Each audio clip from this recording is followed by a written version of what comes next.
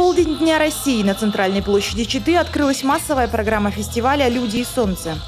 Дорогие друзья, мы от всей души поздравляем вас с Днем России и приветствуем на региональном фестивале «Люди и солнце» в рамках национального проекта «Культура».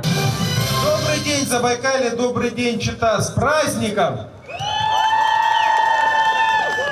Дорогие друзья, каждый из нас любит свою родину, любит нашу родину, любит наш прекрасный солнечный Забайкальский край.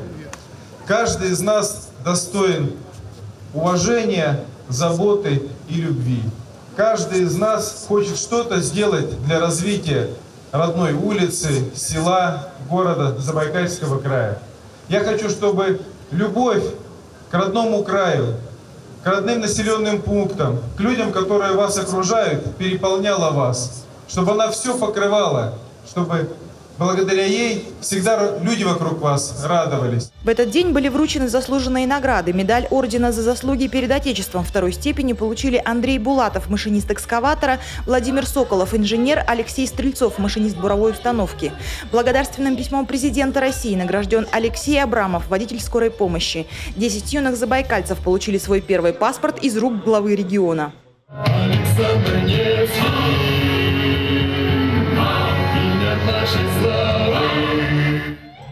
По всей площади развернулись гостевые стилизованные площадки. Презентация русской культуры Забайкалья под названием «Ерила», что означает «солнце». Помни, что такие штаны может носить только казак. Прочий люд не имеет подобного права. Помним славу Забайкальца, своих дедов и отцов, своих дедов и отцов, забайкальцев молодцов. Обряд посвящения в казаки пришел к нам с Дона и был адаптирован под забайкальское казачье войско. Мы взяли обряд первых штанов. Это когда маленького казака, когда ему исполнялось 5 лет, посвящали в казаки. Ему дарили первые казачьи штаны, после которых он считался уже э, членом казачьего войска. Плюс он должен был проехать на боевом коне по двору и тогда он уже вступал в ряды окончательно. Вот с пяти лет он уже с девочками не играл, он уже занимался воинскими премудростями.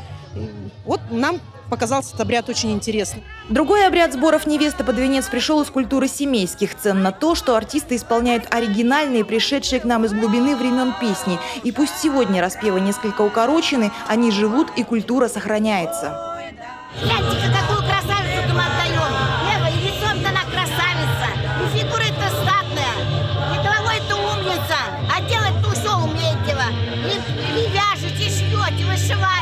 поскольку культура семейских уникальна, там свои требования к обряду, мы сегодня покажем кусочек сбора невесты под венец. Приходила что-то не за любимого, уходила замуж, как договорятся родители.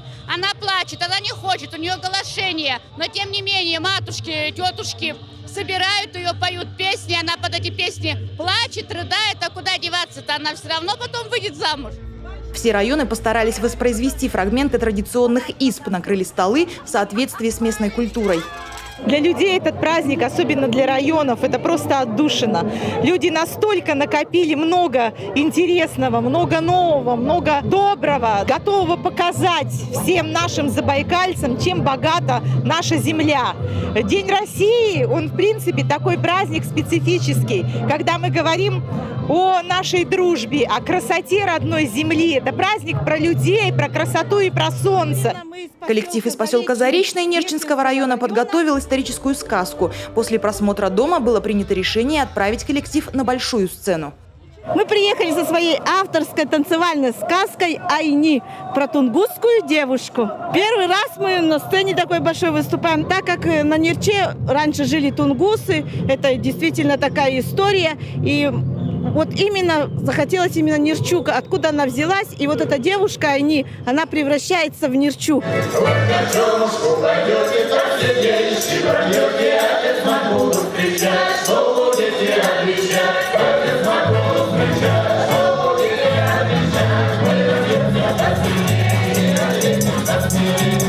Муниципальный ансамбль «Кудес» из Красночекойского района такие фестивали воспринимает как обмен опытом и возможность зарядиться для дальнейшего творческого развития.